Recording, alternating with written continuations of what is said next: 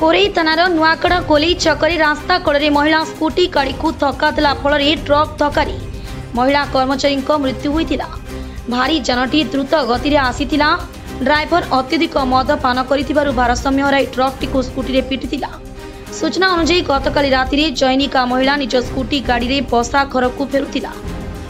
ନୂଆକଡ଼ ଗୋଲେଇ ଛକରେ ଠିଆ ହୋଇଥିଲେ ଏହି ସମୟରେ ଟ୍ରକ୍ଟି ଦ୍ରୁତ ଗତିରେ ଆସି ମହିଳାଙ୍କ ସ୍କୁଟି ଗାଡ଼ିକୁ ପଛପଟୁ ଧକ୍କା ଦେଇଥିଲା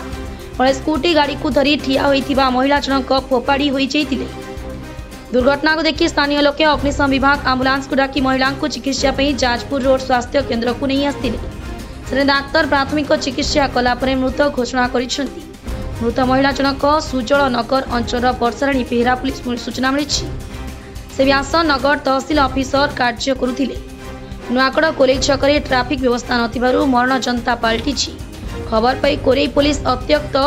लोक म शान्त गरिक्तरखाना शवकु जबत गरिव उच्छेद पनि पोलिस स्थान कदी डाक्तरखाना पठाइन्छ